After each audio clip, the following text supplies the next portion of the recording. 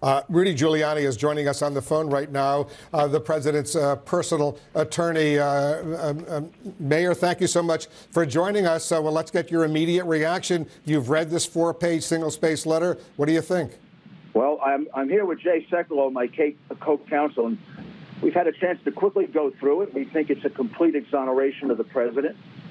Certainly, it's quite clear no collusion of any kind, including the entire Trump campaign which kind of raises the question why did this ever start in the first place? And then as to the obstruction, Wolf, the, the, the key there is that uh, the Attorney General and the Deputy Attorney General made the conclusion that you don't have obstruction when there's no underlying crime.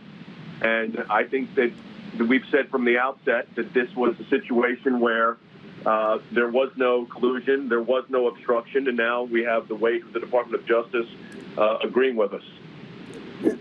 But very important, though, I want to get your reaction to one line uh, in this letter. They quote the special counsel, Robert Mueller, as saying, uh, as far as obstruction of justice, uh, this is to you, Jay, and to Rudy Giuliani, quote, while this report does not conclude that the president committed a crime, it also does not exonerate him. What's your reaction to that? Yes, but then, but then if you go on to the next two paragraphs, Wolf, the attorney general does kind of a brilliant analysis of it and he says that he and Deputy Attorney General Rod Rosenstein have concluded that the evidence is not sufficient to establish that the president committed an obstruction of justice offense. Then he goes even further, and he points out that basically under settled law, it's almost impossible to have an obstruction of justice if there's no underlying crime. Quite a brilliant lawyer-like analysis. And then he concludes with a very strong statement in cataloging the president's actions many of which took place in public view, the report identifies no actions that, in our judgment, that's Rosenstein and Barr, constitute obstructive conduct.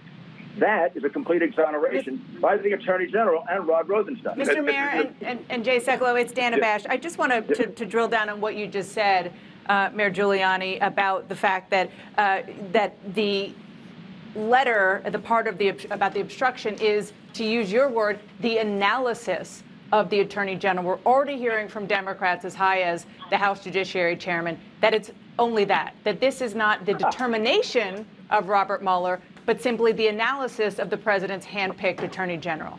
Let me just say one thing. No one should be conflating an independent counsel statute, which is what Ken Starr operated under, mm-hmm. and a and the special counsel and the regulations. He is part of the Department of Justice and is bound by the Department of Justice policies and guidelines and, and policies in this particular case on obstruction are very clear, and that's what they followed. So what what Robert Mueller apparently did was lay out here are all the facts. We're not we're not saying he committed a crime. We're not making an exoneration.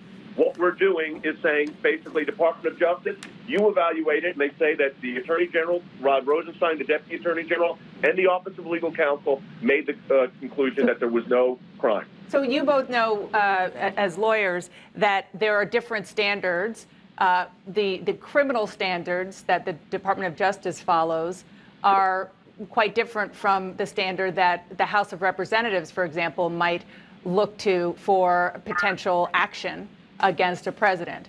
And so, do you are you concerned that that is something that could still happen because it's a different question about whether or not the Department of Justice sees any um, evidence beyond a reasonable doubt well, about obstruction? Well, if, if, if, if, the Democratic members of Congress are willing to apologize for their two, three years of saying there was evidence of collusion, there's treasonous conduct, they have direct evidence of collusion, he was involved in collusion. If they apologize for that, maybe we would have a sense they'd have an objective view of this. It's also absurd to premise an obstruction uh, case when there's no underlying crime. I don't think any sensible lawyer would ever do that. It, look, no crime was committed. So what is he doing? Obstructing an investigation of a non-crime? And finally, it's ridiculous to say there was obstruction. We wouldn't be having the Mueller report if there was obstruction. Correct. Nobody uh, so, me, so, so, Mayor, uh, nobody was interfered with. No one did anything wrong. Based, based on your interpretation of this four-page le letter, and I assume both of you have already consulted with uh, your client, the President of the United States, does he still support releasing everything to Congress and the American public, as he said the other day? Well, I, the president made his statement under the regulations. Wolf, it is up to the attorney general to determine the way in which this is released.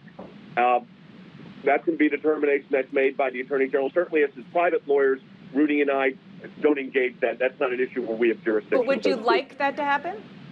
Sure. I mean, all like it to happen because if if it doesn't happen, somebody is going to say there's something hidden there. Uh, let me say this for the 400th time: the president did not do anything wrong. He didn't engage in collusion. I think now that is proven beyond any doubt. Same thing on. And he did not engage in any kind of obstruction of justice known to man. Unless you can obstruct justice somewhere in your head. I mean, this is ridiculous. The attorney general, though, under the regulations, has the authority to make determine Yeah. what's public, and what we, we don't know is what's national security information. We can't waive that. We we certainly can't waive that. What might be executive privilege that would have to be protected under executive privilege? Again, that's not our decision. Grand jury material under 6E.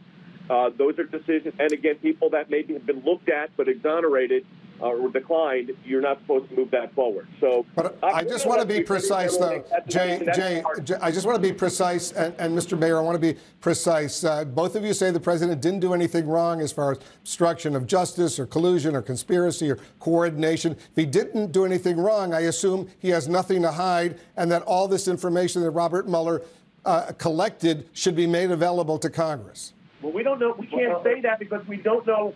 We, we, we understand the fact that we know. We don't know what their grand jury material would be that would affect other people or declarations that were made of, to other people. And, and that's not a situation we would get It's a, it's a legal, it's a legal uh, minefield. For example, if you violate Rule 6E, it's a criminal offense. Right.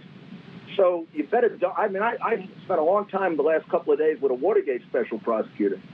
They went to court. A judge had to make the determination. And by the way, their report was never made public until 27 years later. Well, their special counsel also got fired, so maybe that's not a, No, but a that good did not analogy. happen. But that But did not that happen didn't here. happen here. Where's the obstruction, Well, guys? And it didn't happen here. anymore Can- There's not.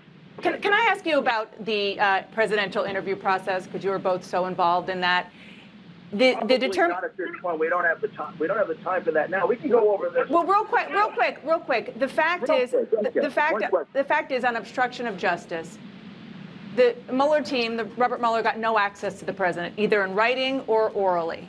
So, how much of a game changer was that? In and how much did that determine the the findings on obstruction of justice that they couldn't talk to the That's president? something we can't com- we can't comment on what impact that had on the uh, attorney general. Uh, excuse me, the special counsel. Uh, we gave the president our best legal advice as to how to proceed under the existing precedents in the D.C. Circuit, which is the famous Espy case.